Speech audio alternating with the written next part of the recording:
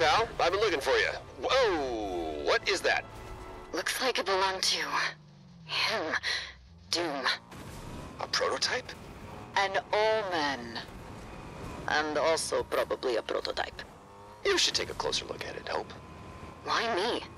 Oh, it's part of the whole subject of a dark prophecy job description. Uh, been there.